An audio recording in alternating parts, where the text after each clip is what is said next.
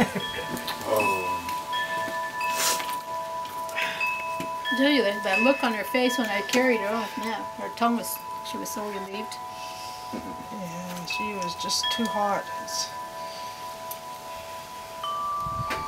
That's why you should take this off. Yeah, that's why I was looking for a uh, uh the thing uh, uh the uh, harness thing, but they, the dog shop the store is closed. So, because it's too warm for her to wear it, but I don't want to put the thing around her neck because I'm afraid she'll choke herself.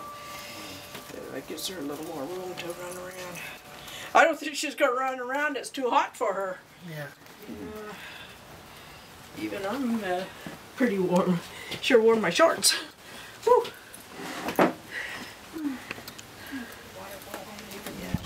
She likes that. Oh yeah, she she loves all the people at Fort Funston. she has regulars who whom she runs to.